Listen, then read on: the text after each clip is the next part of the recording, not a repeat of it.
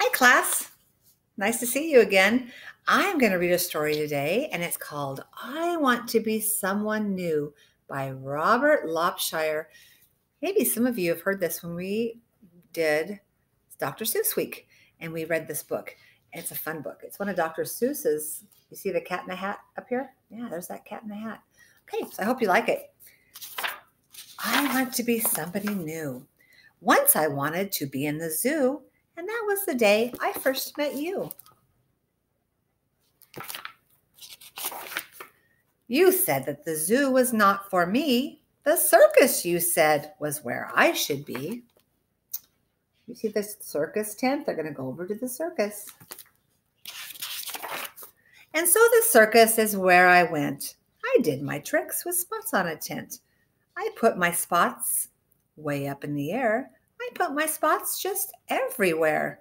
My tricks with spots were lots of fun, but no more spot tricks. I am done. Hmm. He does have lots of spots.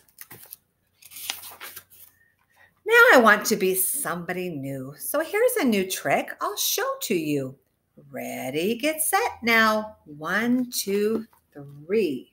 Hmm, what's he going to do? Now look and tell me what you see. An elephant is what we see. Why, you are as big as big can be. Wow, he turned into an elephant. Look how big he is. But being that big cannot be fun. Say, you must weigh at least a ton. He's too big for the teeter totter, isn't he? Cannot walk up on this fence or squeeze between these circus tents. He's just too, too big. The door of your house is now too small. You can't get through that door at all. You can't go here. You can't go there. You can't go much of anywhere. He can't even go to his old house. He's too big. You cannot sit in your old chair. Your new rear end won't fit in there. You're very big. You're very fat. We do not care for you like that. Do you think he'll break his chair? I think he would. Every word of what you say is true. Okay, so I'll be someone new. Ready, get set now. One, two, three. Ooh, what do you think he's going to be now? Now look and tell me what you see. A tall giraffe is what we see. You are as tall as tall can be. He is tall. But being that tall can't be any fun. You're taller now than everyone. Your head is so is now so high in the air, it's hard to see your face up there. He is tall. And we can see from way down here, a bird is flying in your ear. We do not like to see you tall. We do not like you tall at all. Every word of what you say is true. Okay, so I'll be someone new. Ready, get set now. One, two, three. Now look and tell me what you see. You see the bird flying in his ear? A mouse, a mouse, that's what we see. You are as small as small can be. Well, what do you think? I'm asking you. Do I look good this way to you? What do you think? Do you think he looks good as a little mouse? You did not like, we did not like you fat or tall. Now you're very much too small. Your chair is too big for you, and now your door is too big too cannot open up your door. And that's not all, there's much, much more. He went from big to small, didn't he?